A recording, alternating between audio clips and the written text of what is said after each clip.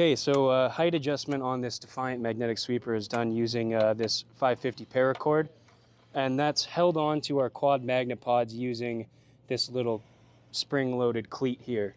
So this cleat just kind of pinches the rope so it can't pull this way, but what it does do is it will slip the other way pretty easily. So when you have it under your forklift, you can start with the rope on a lower setting. So say we, we're obviously doing this outside of the forklift so you can see what's going on here. But so say you have your forklift set this high off the ground or your magnet pod set this high with this much rope hang down. If you want to raise the magnet up, you can just pull this and it'll catch the other way. So this spring-loaded clamp catches this way, but it'll slip this way. So once you have your height set under the forklift, which we're gonna do after, but you won't be able to see that, these things, these ropes need to be tucked away. So this can be a little difficult to do under the forklift.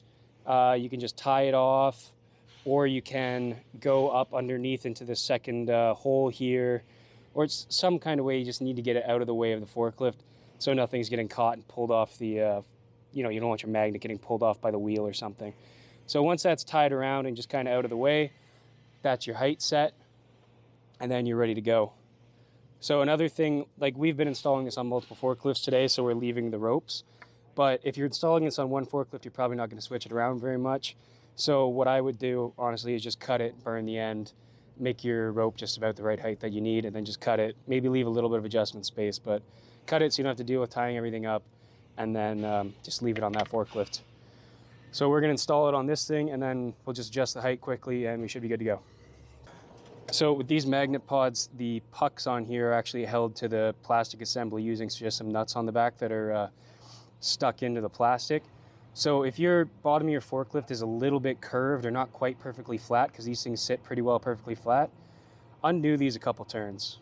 You can just turn these magnets left, they'll loosen off. And when these are loose, they shouldn't come loose at all because the magnets won't rotate against the forklift. But when these are loose, you'll get just a little bit of wiggle and that might allow your magnet to stick, get a better hold on a slightly curved surface on the bottom of your forklift.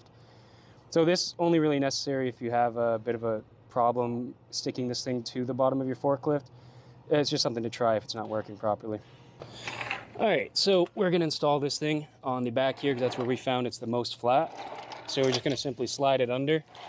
I've left these magnet pods a bit loose so we can adjust them once they're on there. So stick them out, attach those to the bottom, make sure you're on a pretty decently flat surface. That thing seems like it's holding well.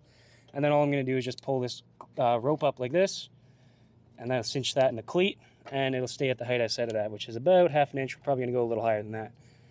But that's the easiest way we found to adjust it. Just kind of pull them out a little bit. So I got a better hold here. Pop those strings up, the cleat will catch it. And that's our sweeping height. Might want to go a little lower than that, but that's about an inch and a half. So that should be fine. And then, like I said before, you just need to tie these up so nothing gets caught. I'm just going to do a little square knot around the top here, loop it around again, and that'll be fine for what we're doing here today. Same on this side, just pop a little square knot on there, go around again, and that's going to stay out of the way. So that's pretty sturdy hold on this side. Go around to the other side and adjust it, and we're good to go.